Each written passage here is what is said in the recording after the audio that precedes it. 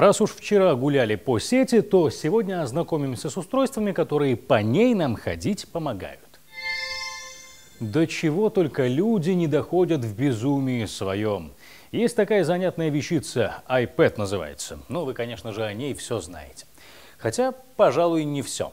Скоро в продаже появится золотой планшет стоимостью в 5500 долларов. Но это на Западе он столько будет стоить, а у нас на все 7 потянет. Новинку представила маниакально настроенная компания Gold Co iPad третьего поколения будет содержаться в корпусе из 24-каратного золота и к безделушке будет прилагаться роскошный деревянный кейс с беспроводным интернетом. Золотая версия планшета будет доступна лишь в нескольких ювелирных магазинах по всему миру. Конечно, это будут Лондон, Гонконг и Дубай. В тираж планируется пустить 250 штук, не больше. Есть, правда, одно приятное «но». Деньги от продажи гаджета будут передаваться на благотворительные цели. А сколько вы готовы выложить за смартфон Apple? Мы расскажем, какова его реальная цена и объясним почему. Немногие потребители задумываются о реальной стоимости электроники. Нет, объяснить, из чего складывается та или иная цифра на ценнике, большого труда не представляет. Но вот можно ли повесить ценник на тот ущерб, который причинен окружающей среде, только для того, чтобы мы получили удобные мобильные приложения? в наших силах снизить реальную стоимость электроники, которую мы покупаем. Как? Ну, например, пропустить одно-два поколения того самого айфона. Появление новых моделей с самыми минимальными добавлениями толкает людей на бездумные траты. Итак, из чего же складывается настоящая стоимость айфона? А. Разработка новой модели.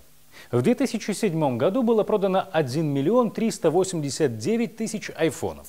В прошлом году эта цифра выросла до 72 миллионов, то есть в 50 раз. Это был самый прибыльный год в истории Apple. На этом они заработали 108 миллиардов долларов. Однако до того, как деньги потекут рекой, айфону предстоит пройти долгий путь, который начинается в шахте. И тут мы переходим к пункту «Б» добыча сырья. Им выступают сразу два жаропрочных минерала – колумбит и танталит. Оба способны удерживать высокий электрический заряд. 80% мировых запасов этих пород находится в Конго. Борьба за контроль над их добычей стала одной из причин Второй Конголезской войны. Армия Руанды обогащается на руде, просто воруя ее, а сумма, на которую нагрелась вооруженная группировка за полтора года кровопролитных войн, составила 250 миллионов долларов. В. Оборот. А он действительно немалый. И, как мы знаем, центр его находится в Китае и Вьетнаме. Состояние 43% китайских рек оценено крайне негативно. Каждый год от загрязнения воздуха умирает 750 тысяч китайских граждан. И это лишь часть опасных цифр. Пункт Г. Производство. Foxconn – один из самых печально знаменитых производителей компьютерной техники. Только на одном заводе в Фэнчжэне, опять же Китай, каждую минуту с конвейера выходит 90 айфонов. Общая стоимость этой партии равна 18 тысячам долларов. Это в 11 раз больше, чем рабочий Foxconn зарабатывает в год. В связи с таким положением дел 18 рабочих завода пытались покончить жизнь самоубийством. Пункт Д потребления. Каждый месяц продается около миллиарда приложений для iPhone. Средняя стоимость одного приложения 1 доллар 37 центов. В год выходит 16 миллиардов долларов. После того, как iPhone стал популярен, у многих людей развилось заболевание под названием номофобия – боязнь остаться без мобильной связи. Е. Утилизация.